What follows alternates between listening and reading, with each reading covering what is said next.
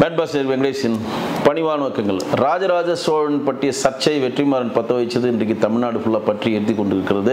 ராஜராஜ சோழன் வந்து ஒரு இந்து ராஜாவே கிடையாது. அவர் ஒரு இந்துவே கிடையாது. அப்புறம் யார் அப்படின்ற கேள்வி வச்சா அதுக்கு பதில் சொல்ல இங்கே இருக்கக்கூடிய திரையுலகத்தை சேர்ந்தவர் யாருக்கும் துப்பு கிடையாது.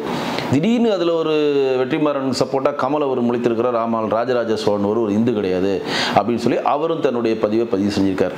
இப்போ கமல் வந்து இப்போ தன்னுடைய கட்சியை நடத்துகிறாரா என்ன என்ன பண்ணுறாருன்றது யாருக்குமே தெரியல. ஏன்னா அவர் வந்து மிக மிக நெருக்கமாக அரவிந்த் கெஜ்ரிவாலோட இருந்தார் ஆம் ஆத்மியோட. இப்போ அரவிந்த் கெஜ்ரிவால் அப்படியே ஒரு அப்படியே கொஞ்சம் ரொம்ப ஒரு சாஃப்ட் கார்னராக டிஎம்கே நோக்கி நகர்றாரு. காங்கிரஸுக்கு மாற்றாக நம்ம வந்து ஆம் ஆத்மி கட்சியை வச்சு ரன் பண்ணலாமா? தேசிய லெவலில் ரன் பண்ணலாமான்னு சொல்லி திமுக செயல்பட்டு இருக்கிறதுனால இப்போ வந்து டிஎம்கேக்கு சப்போர்ட்டாகவும் போக முடியல ஆம் ஆத்மி சப்போர்ட்டாகவும் போக முடியல காங்கிரஸ் கிட்டேயும் போக முடியாமல் அரசியல் அனாதையாக்கப்பட்ட திரு கமல் இன்றைக்கு சொல்லியிருக்கிறார். தன்னுடைய திரையுலக பயணத்தையும் தன் திரையுலக வருமானத்தையும் தன் திரையுலக அனைத்து விஷயங்களும் உதயநிதி ஸ்டாலின் அடமான வைத்த திரு கமல் சொல்லியிருக்கிறார். ராஜராஜ சோழன் ஒரு இந்து இல்லை. இது வந்து கமல் சொல்றது வந்து இந்துக்களை வந்து அவமரியாதை பேசுறது இது ஒன்றும் புதுசு இல்லை. ஏற்கனவே வந்து ரெண்டாயிரத்தி இருபத்தொன்னுடைய சட்டமன்ற எலெக்ஷனில் முஸ்லீம் அதிகமாக வளர்க்க இருக்கக்கூடிய அரவங்குறிஞ்சியில் பள்ளப்பட்டின்ற ஊரில் போய் கமலஹாசன் பேசுகிறப்ப சம்பந்தமே இல்லாமல் அந்த இடத்துல ஒன்று பேசினாருன்னா சுதந்திர இந்தியாவின் முதல் தீவிரவாதி ஒரு இந்து அப்படின்னு சொல்லி அந்த இடத்துல இருக்கக்கூடிய இஸ்லாமிய ம- மக்களினுடைய ஓட்டை கவர வேணும் என்று வாலண்டியாக போய் அங்கே சொல்லி அதுக்கப்புறம் இந்து மக்களால் வந்து மிகப்பெரிய லெவலில் கண்டனத்துக்கு உள்ளானார். அந்த எலெக்ஷனில் அவர் தோத்தும் போனார். கிட்டத்தட்ட அந்த எலெக்ஷனில் எங்கேயுமே மக்கள் நீதி மையம் ஜெயிக்கல. வானதி சீனிவாசனும் கமலும் மிகப்பெரிய லெவலில் தோற்று போனார். அது என்ன மிகப்பெரிய காரணம் என்ன தெரியுங்களா? சந்திரப்ப சந்திரப்பவாத அரசியல் அப்படின்னு சொல்லுவாங்க பாருங்கள் ஒரு பலப்பட்டியில் வந்து அண்ணாமலைஜி வந்து பிரச்சாரம் பண்ண போகிறாரு அண்ணாமலைஜியை வந்து பிரச்சாரம் பண்ணக்கூடாதுன்னு சொல்லி அங்கே இருக்கக்கூடிய ஜமாத்தில் முடிவு எடுக்கிறாங்க அதே மீறி அண்ணாமலைஜி என்ன சொல்றாரு? இந்தியாவின் ஒரு பகுதி தான் அரவங்குறிச்சி. அரவங்குதியில் இருக்கக்கூடிய ஒரு தொகுதி தான் பள்ளப்பட்டி. நான் ஜமாத்தை என்னை தடை செய்தால் நான் மீறி அங்கு போய் என்னுடைய முஸ்லீம் சகோதரர்களை பார்த்து ஓட்டு கேட்பேன்னு சொல்லி போய் ஒரு ஓட்டு கேட்டாருங்க. அவர் ஆம்பளைங்க. எங்கேயுமே இதை பற்றி சொல்லாம அங்க இருக்கக்கூடிய பள்ளப்பட்டில் இருக்கக்கூடிய மக்களை கவர வேண்டும். அந்த அங்க இருக்கக்கூடிய சிறுபான்மை ஓட்டை கவர வேண்டும் என்று அங்க வாலண்டியா போய் நான் காந்தியின் கொள்ளு பேரன். சுதந்திர இந்தியாவின் முதல் தீவிரவாதி ஒரு ஒரு இந்து அப்படின்னு சொல்லி ஒரு தனி மனிதனாக கோட்சே அவருக்கு செய்த ஒரு தவறு தவறான ஒரு செயலுக்கு ஒட்டுமொத்த இந்தியாவில் இருக்க இந்துக்கள் மனதை புண்படுத்திய கமலஹாசன் அன்னைக்கு கிடைத்தது மிகப்பெரிய ஒரு தோல்வி. அவர் எல்லாம் சொல்லிக்கிறார் நான் காந்தியின் கொள்ளு பேர் நீ சொன்னார். காந்தியின் காந்தியும் கமலஹாசனையும் ஒரே தட்டில் வைக்க முடியுமா? தனி மனித ஒழுக்கத்தை பாதுகாத்தவர் காந்தி. பொய் சொல்லாமல் அறநெறியில் வாழ்ந்தவர் காந்தி. கிட்டத்தட்ட வந்து தன் வாழ்நாள் முழுவதும் கதராடை வைத்து அணிந்திருந்து இறந்தவர் காந்தி. இந்தியாவின் மகாத்மா இந்தியா இந்தியாவின் தேசப்பிதான் போற்றப்படுவர் காந்தி கொல்லு பேரன் அவருக்கு சொல்றாரு. உங்களிடம் தனி மனித ஒரு ஒழுக்கம் இருக்கிறதா? உங்களுடைய வாணி கணபதி நீங்க கல்யாணம் பண்ணீங்க யாருடைய பர்சனல் வாழ்க்கை பேசுறதுக்காக இல்லை ஒரு ஒரு மனிதனை பற்றி ஒரு பொது வழியில் சொல்லணும்னா அவங்களோட வாழ்க்கையுடைய த- திட்டங்களையும் சொல்ல வேண்டிய கட்டாயத்தை நம்ம ஆளாக்குறது திரு கமல் அவர்கள் தான். முதல் கல்யாணம் வாணி கணபதி பண்ணீங்க என்ன ஆச்சுன்னு தெரில அவங்களை விவாதத்து பண்ணிட்டீங்க.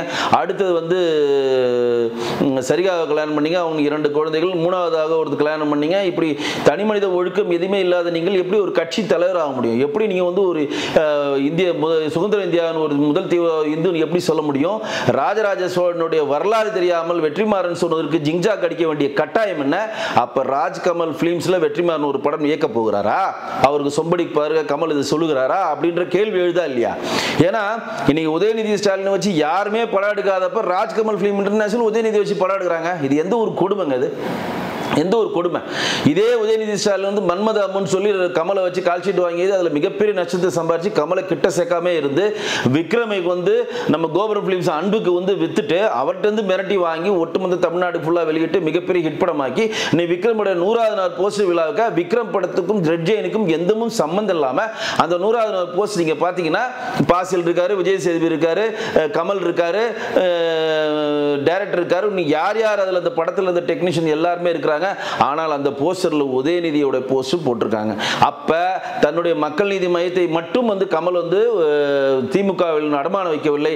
தன்னுடைய ராஜ்கமல் ஃபிலிம் இன்டர்நேஷனலுடைய நிறுவனத்தையும் உதயநிதியோட ரெட்ஜைனுடைய நிறுவனத்தில் அடமானம் வைத்து விட்டார். குற்றச்சாட்டை மறுக்க முடியுமா?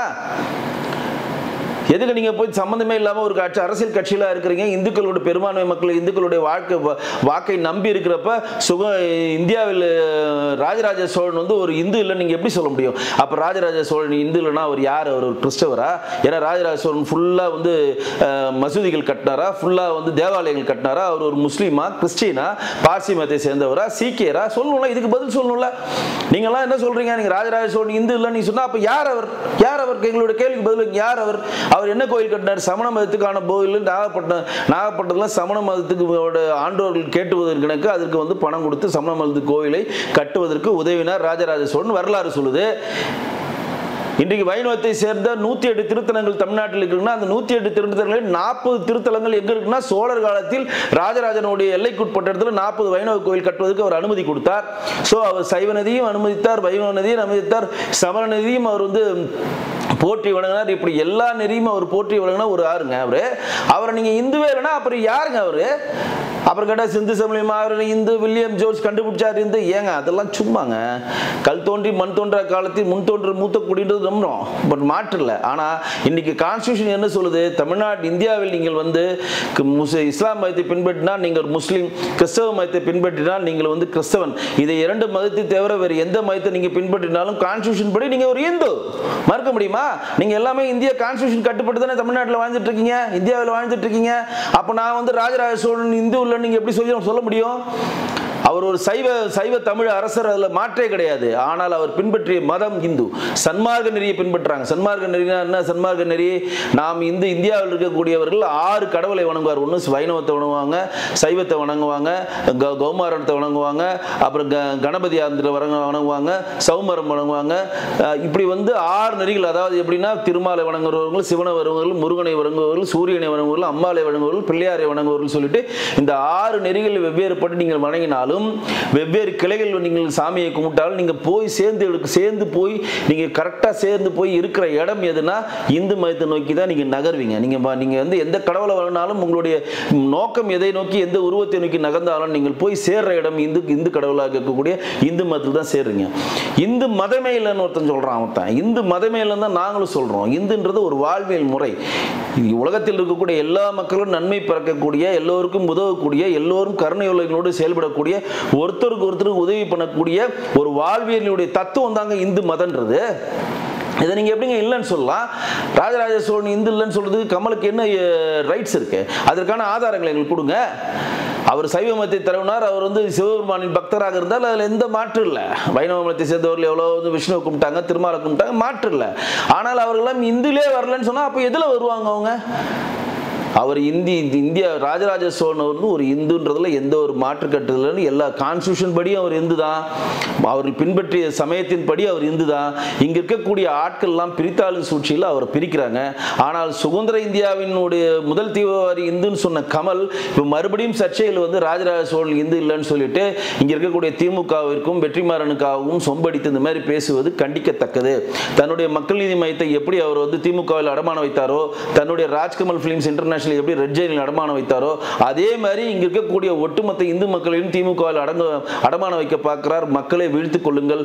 இது ஒரு எப்படி சொல்றதுன்னா இது வந்து சந்திரப்பவாத கட்சி. அதை எதுக்கு சந்திரப்பவாத கட்சின்னு சொல்றேன்னா எங்குமே சுதந்திர இந்தியாவின் முதல் தீவிரவாதி இந்துன்னு சொல்ல தீவிரவாதி ஒரு இந்துன்னு சொல்லாத கமல் அரவங்குறிச்சியில் பள்ளப்பட்டியில் நடக்கக்கூடிய அந்த முஸ்லீம்கள் வாழக்கூடிய இடத்துல போய் சொல்றாருன்னா அப்போ சந்திரப்பவாத அரசியல் தானே.